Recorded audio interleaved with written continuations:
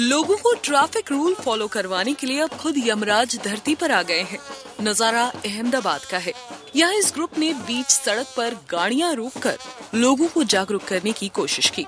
इनके मॉडर्न यमराज ने लोगों को हेलमेट पहनने को कहा।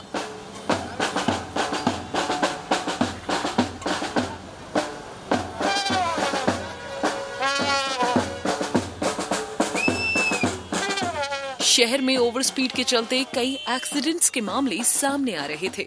इसी को देखते हुए इस ग्रुप ने लोगों को जागरूक करने की एक अच्छी पहल की है, जिसमें पुलिस भी इनके साथ है।